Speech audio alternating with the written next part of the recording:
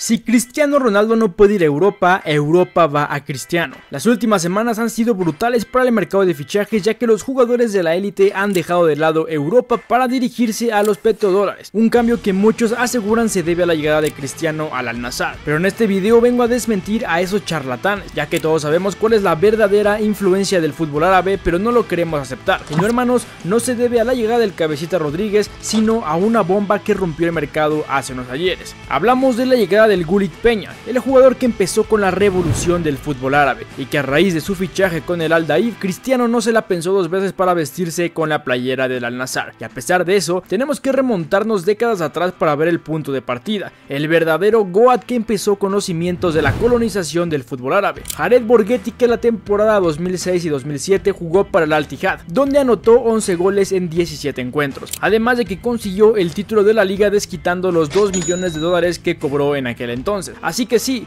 aquel club gozó de la calidad del mexicano y que hoy en día, 15 años después, al mismo equipo llega Benzema que tendrá la dura tarea de llenar los botines del bombardero azteca. Así que en resumen, CR7, Gulit Peña, Cabecita Rodríguez y Jared Borghetti son los culpables de que el mundo haya volteado a ver las tierras árabes. Y no solo eso, sino vestir las equipaciones exóticas de los equipos petroleros que pagan por respirar. Así que basta de mucha intro. En este video veremos a los jugadores mejor valuados provenientes de Europa y que actualmente se encuentran dentro del territorio árabe.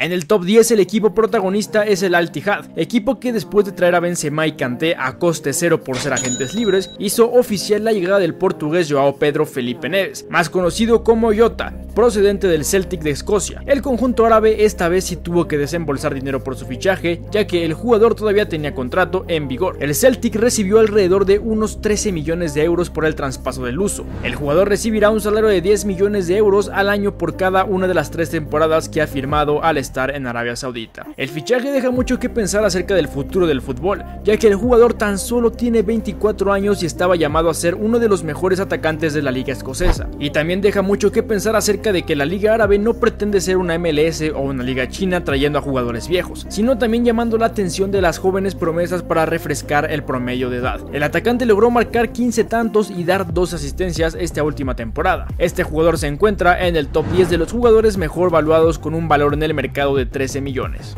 Sigamos con el top 9 perteneciente a Talisca, un jugador que conoce lo que es ir a revolucionar el fútbol a un país, ya que antes de su llegada a la Liga Árabe pasó primero por la Liga China, una liga que tenía un proyecto innovador pero terminó por no concretarse. El brasileño anotó 39 veces en 65 partidos en el Wansu, formó parte del equipo que ganó el título de la Superliga China en 2019 y que también llegó a las semifinales de la Liga de Campeones Asiática en la misma temporada. En aquel entonces llegó al conjunto árabe con valor en el mercado de 8 millones y tras un par de temporadas en tierras árabes aumentó su valor a 15 millones tras 42 goles en 55 partidos con el Al-Nassr, colocándose en la novena posición de este top.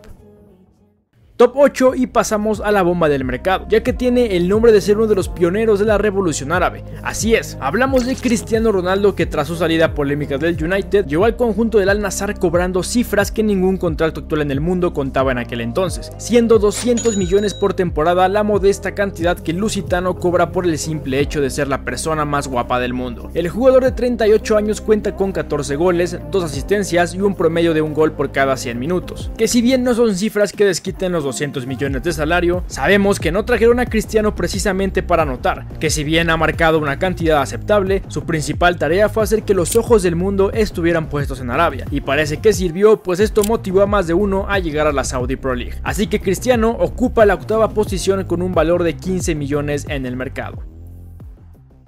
Top 7 y nuevamente vemos al Al Tihad como protagonista, equipo que trajo directamente desde la Premier League la humilde persona de N'Golo Kanté que llegó como agente libre, pero costando 100 millones anuales en salario, casi la mitad de lo que cobra Cristiano siendo una locura aún así de contrato. La contratación de Kanté por parte del club saudí es un claro indicio de su ambición por competir a nivel internacional y local haciendo segunda a lo que hizo el Al Nassr tras fichar a Cristiano. Kanté alzó la Copa del Mundo, ganó la Premier League en la temporada 15-16, con el Chelsea se campeón de Champions League, FA Cup, Europa League, Supercopa de Europa y un Mundial de Clubes. Una carrera europea que concluye a los 32 años, que con aquel palmarés, ganar millones por sonreír me parece merecido como premio a su gran trayectoria. Sin duda Kanté tenía a un nivel para seguir compitiendo en la élite, pero quizás sus números en la última temporada, donde jugó apenas 9 juegos tras encontrarse lesionado, fueron los principales indicios para emigrar a ganar petrodólares. Kanté se encuentra en el top 7 de esta lista con un valor también de 15 millones. Pasemos al top 6 con Koulibaly, un jugador que le quedaban al menos un par de años más en Europa, pero que con 32 años decide marcharse al Al Hilal, finalista del Mundial de Clubes, por lo que se puede decir que el senegalés llega a uno de los mejores equipos de Arabia proveniente del Chelsea firmando hasta la temporada 25-26. Hay muchos futbolistas que niegan irse por cuestiones económicas. El defensa africano se sinceró y reconoció las razones por las cuales aceptó llegar a la Liga Árabe. No lo puedo negar, me voy por dinero. Con este dinero podré ayudar a toda mi familia a vivir bien desde mis padres hasta mis primos. Ante ello, Koulibaly priorizó su bienestar económico y no lo culpo, además de ser musulmán y llegar prácticamente a un lugar que comparte su creencia. Koulibaly se encuentra en esta lista de los jugadores más caros en Arabia teniendo un cuádruple empate con su valor, ya que Talisca, Kanté y Ronaldo igualmente valen 15 millones en el mercado.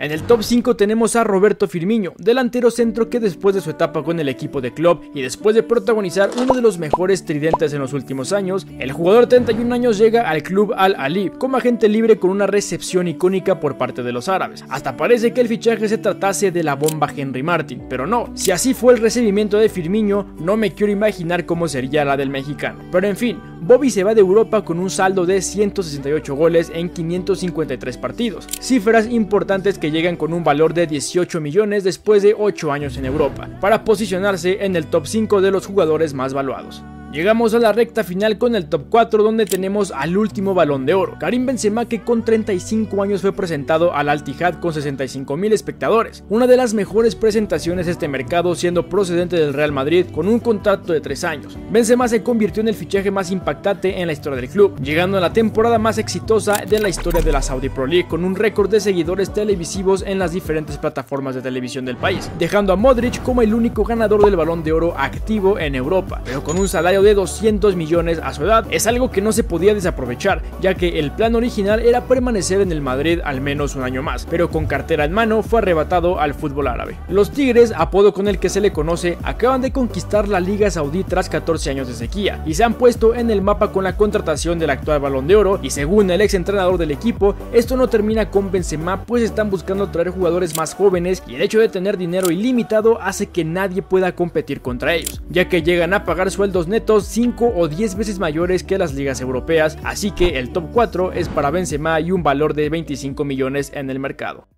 En el top 3 tenemos a otro jugador con el mismo valor que Benzema de 25 millones. Hablamos de Brozovic que sonaba para reforzar al Barcelona, pero sabemos que económicamente no podían competir con los árabes, por lo que el jugador croata de 30 años se sumó a la creciente lista de futbolistas de la élite europea seducidos por los millones de la Liga de Arabia Saudita. Y así son las vueltas de la vida. Brozovic pasa de haber jugado la final de Champions en su último partido con el Inter de Milán, siendo por cierto capitán del club italiano, a pasar a jugar a una liga que apenas está saliendo del en la escena internacional. Brozovic estará cobrando un aproximado de 30 millones por temporada. Este es el precio tras haber jugado 9 temporadas con el Inter de Milán, por lo que al momento que grabo este video se queda como el tercer jugador mejor valuado en llegar a Arabia.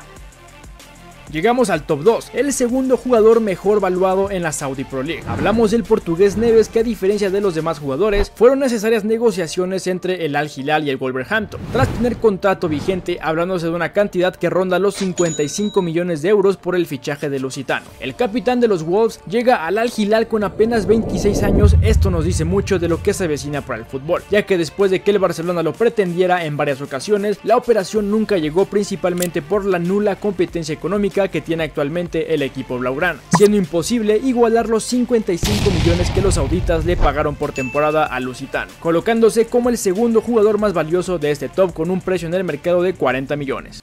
Y finalmente llegamos al top 1 de este top, proveniente de Serbia, Milinkovic Savic, el mediocentro de Lazio, de apenas 28 años que estará acompañando a Neves y a Koulibaly en el Al Hilal, convirtiéndose en el jugador de momento más valioso de la Saudi Pro League con un valor de 50 millones en el mercado. Este fichaje no llegó gratis, sino que el conjunto saudí desembolsó alrededor de 40 millones por el fichaje del serbio, dejando atrás una carrera en Europa de 380 partidos, 78 goles y 61 asistencias. Con esto se demuestra una vez más que el dinero lo puede todo, ya que a pesar de que la Lazio estará jugando Champions League la próxima temporada, eso no fue impedimento para emigrar al mundo árabe cobrando aproximadamente 25 millones anuales. Cabe destacar que hace unos días el presidente de la Lazio presumía que en 2018 rechazó una oferta de 140 millones de euros del Milán y ahora por 40 millones deja ir a su mejor hombre. Hace 5 años si me decías que este jugador terminaba en Arabia, te suelto un tiro en ese momento, pero cómo cambian las cosas en cuestión de meses.